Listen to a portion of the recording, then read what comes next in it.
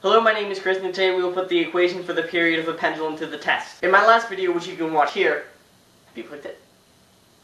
Good. I told you that the period of a pendulum is equal to 2 pi times the square root of the length of the pendulum over the square root of the acceleration due to gravity. Today, we test it out.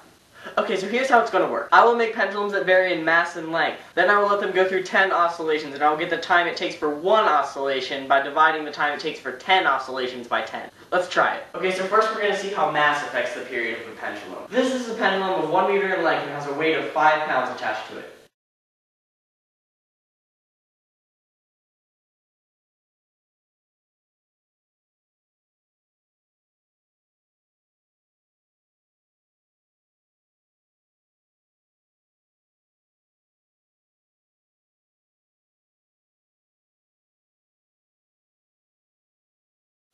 Okay, so for 10 oscillations, it took 21.36 seconds. So for one oscillation, it took 2.136 seconds. Now let's double the mass and see if that changes. Okay, double the mass, here it goes.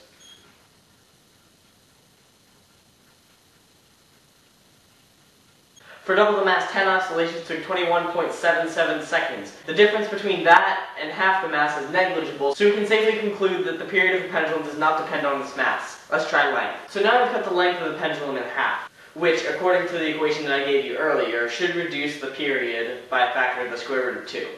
Let's see if that holds up.